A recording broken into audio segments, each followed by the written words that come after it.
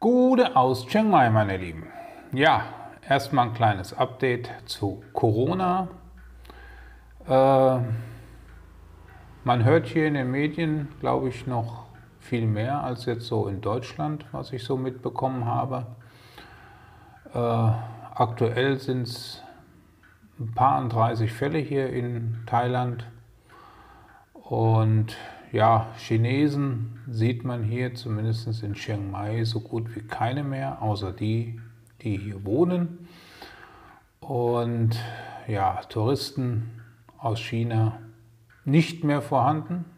Die Hotels und Restaurants und alles, was so damit zusammenhängt, machen jetzt lange Gesichter, weil hier gibt es keine Lohnfortzahlung in dem Sinne, wenn man nicht beschäftigt ist.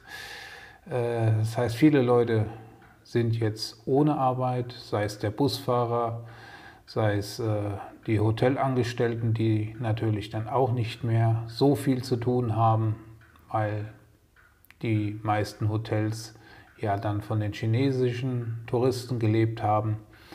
Ja, all das sind Auswirkungen, die Chiang Mai zurzeit zu verkraften hat. Und ich denke, das sieht im anderen Teilen des Landes hier auch nicht anders aus.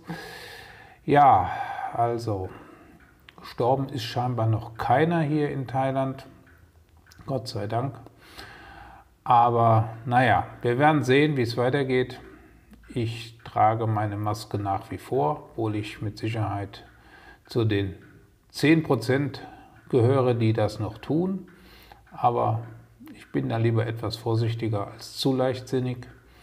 Und mag sich jeder verhalten, wie er will.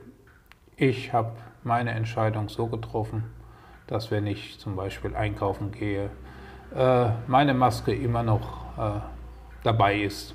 Ja, so ist es halt. Äh, dann war ich mal beim Bahnhof und habe euch da mal ein paar Aufnahmen von gemacht. Die kommen jetzt im Anschluss.